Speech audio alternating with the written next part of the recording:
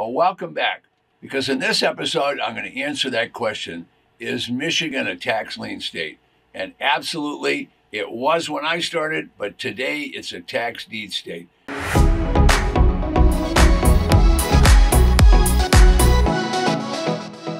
So let's learn about that.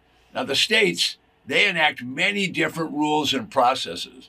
And once that legislature makes the rule, they pass it down to the counties and expect the county treasurer and tax collector to follow through and get all that done. So I'll explain all that as we go along. But just kind of open up your mind because this is a big state, a lot of counties. As you can see, 83 different counties. All of these counties sell tax deed properties. That simply means that if the property owner does not pay the taxes, the county will not only give them due process notice, but the county will confiscate that they'll seize the property and they'll ultimately resell that property. All right, so we're very lucky because we're in, in an environment where we can make a lot of money. So this is called wealth creation. So this is one of the ways you can create wealth for your family is by learning how to buy these tax defaulted properties, okay? Now, my name is Ted Thomas, and I've been investing in tax liens and tax deeds for over 30 years. Now, I started my real estate career buying single family homes. I slowly grew that to buying with investors 50 and 100 unit apartment properties and even small office buildings. But 30 years ago, I learned about tax lien certificates and about tax defaulted properties. And folks, I haven't looked back since then. So I'm going to start by giving you a short background on tax liens and tax deeds, and then we'll get right into the depths of learning how you can make a six figure income like other educated investors do in the state of Michigan. I'll be right back. Okay, the episode is answering the question Is Michigan a tax lien state? Absolutely not. No tax liens in Michigan. However, when I started years ago, Michigan was a tax lien state that paid all the way up to 50% interest, 50%. Now, if you're an educated investor, you're going to be able to make a six figure income working in this state. Now, I don't know if you're going to make that on your first deal, but on multiple deals, you can earn a six figure income. And I've got people that have done as many as 60 and 70 properties in the state of Michigan, and they're making handfuls of money. Well, some people like to say truckloads even. Now, before I'm finished, you're going to learn how to make money part time. This could be a side hustle for you where you can make $10,000, 15, even $25,000 a year buying tax defaulted property, tax deed property in the state of Michigan. Okay, now I'm going to give you a little foundational material so that you completely understand. Now, the secret to wealth is always going to be the same thing it's going to be knowledge and ideas. Now, if you have good ideas, I'm telling you, there's always someone that'll be there ready to fund them. So I'm going to try and give you a ton of knowledge as you go through that. Go through this channel, you'll find a lot of knowledge on tax liens and deeds.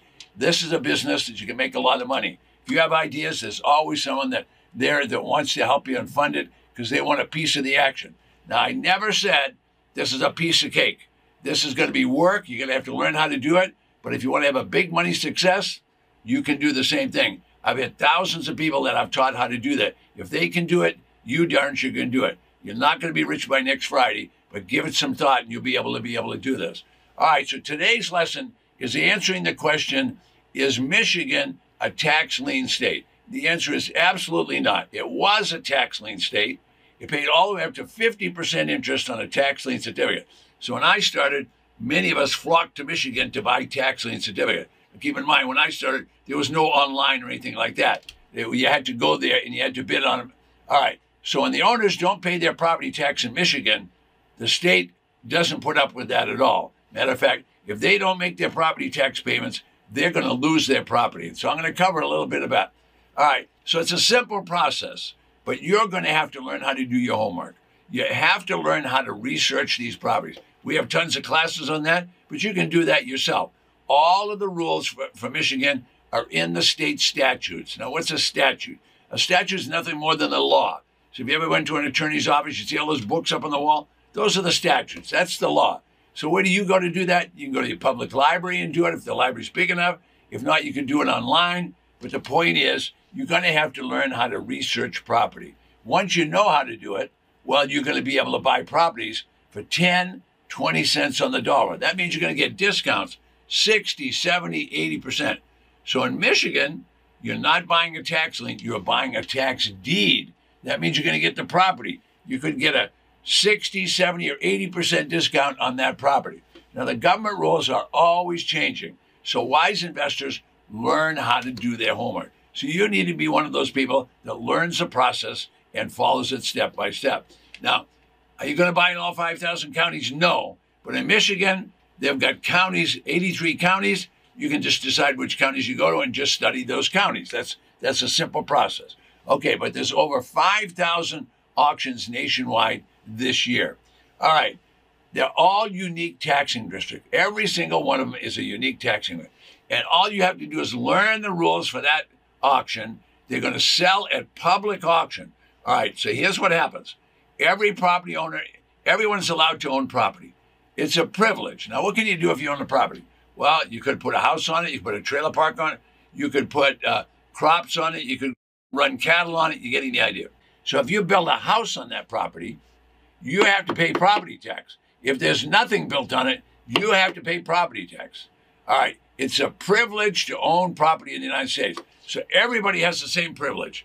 However, you lose your privilege if you don't pay the taxes. So the local treasurer will do something about collecting taxes. All right. All the rules are enacted where? At the state level. And I'll show you a legislature in just a minute. All right. So look at what we have here. This is a USA map. You recognize that. But now it's divided into all the counties. Every one of those counties is a different taxing district. Every one of them. So that means every one of them can collect taxes. All right. Now, if that privileged owner doesn't pay tax, I can tell you right now, they're going to lose that property. All right. Now, they're allowed to do anything they want with the property. Anything they want, they allow you to do it. However, you just must pay your property tax. If you don't, the local government is going to do something about it. All right. Now, this is the government, this is the legislature. They make the laws there that say you have to pay the tax. The legislature makes the law, the statute, then they pass it down to the to county board of supervisors or, or board of commissioners. They pass it down to them, and then the, those commissioners or board of supervisors have the local tax collector, the assessor, the people that run the, the, the county. They have them go out and give notice of these people that you have to pay taxes. All right, now if you don't pay taxes, they're going to do something about it. All right, now, the something about it is this. They're going to give you due process notice, which I'll show you in a second. They're going to give you the due process notice. If you don't pay, they're going to confiscate the property. It's going to get sold at auction. Now, when it's sold at auction, it's sold for basically the back taxes. And that's the electricity that you want to hear because you're interested in wealth creation. So if you can buy for just back taxes, which might be a few thousand dollars, and it's a fifty or hundred thousand dollar property, you got a lot of margin for profit.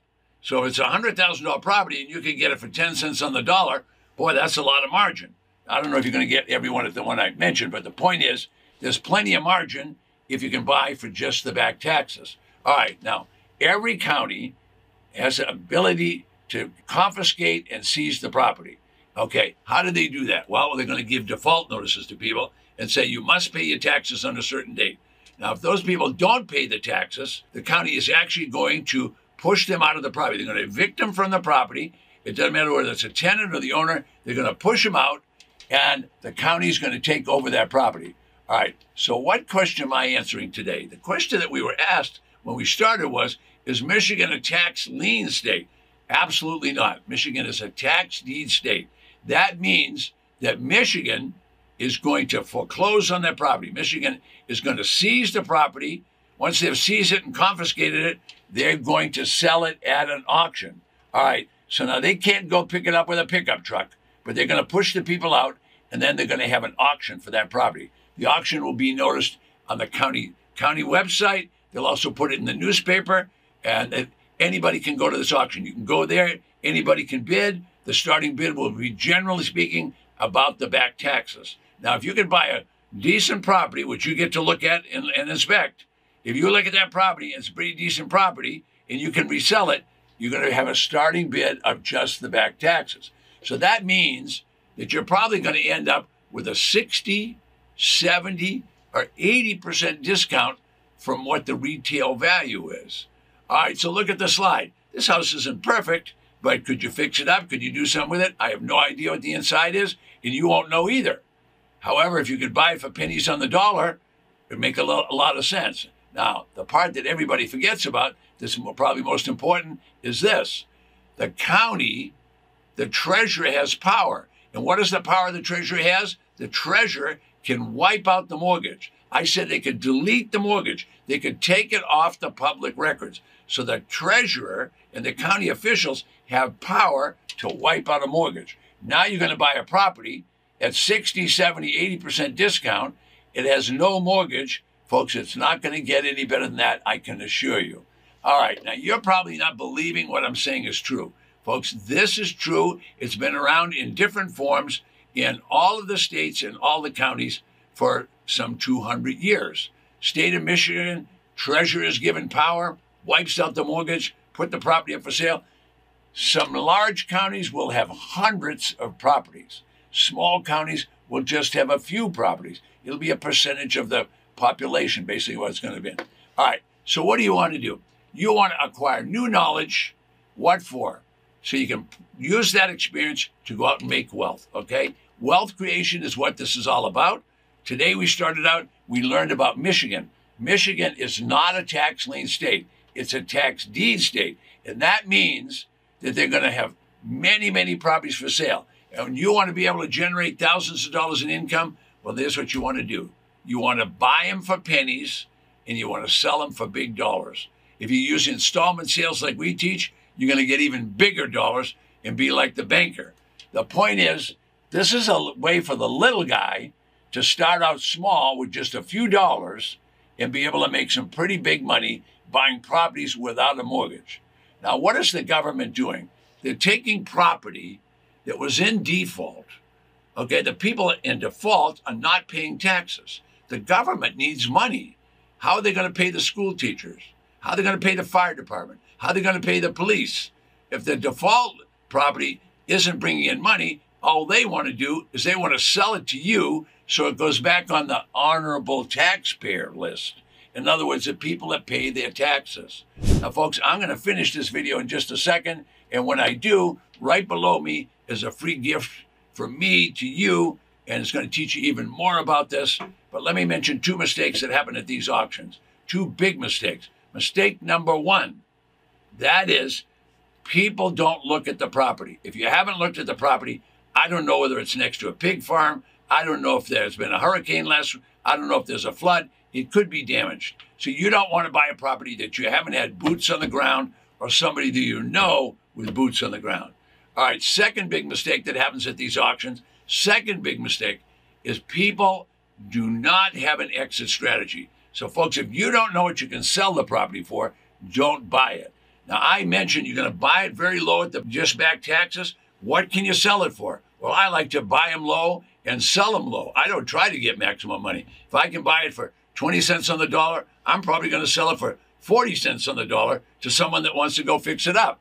Why? I can make a nice profit just using my knowledge. And that's what this channel is all about just teaching you how to use knowledge. I'm Ted Thomas. I'll see you on the next video.